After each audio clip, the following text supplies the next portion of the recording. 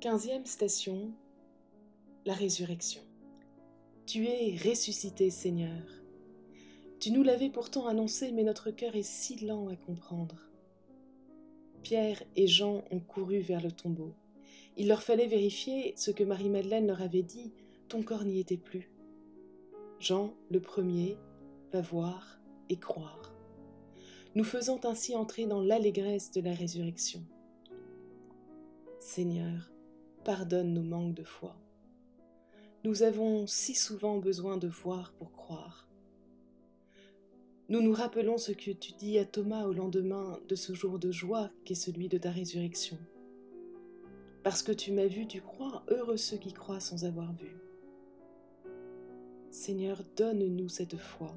Fais-nous entrer dans l'absolue certitude que dans ta mort et ta résurrection, tu nous entraînes dans la vie, que tu as triomphé de la mort, que désormais la mort est le dies natalis, le jour de joie et d'allégresse.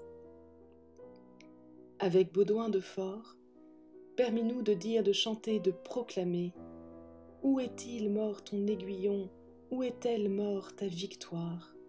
L'amour est fort comme la mort, car l'amour du Christ est la mort de la mort. Ta résurrection, Seigneur, est l'expérience la plus haute, la plus complète, la plus radicale de la miséricorde. Nous la célébrons, Seigneur, et nous chantons avec le psalmiste Misericordias Domini in eternum cantabo. De Paul Claudel.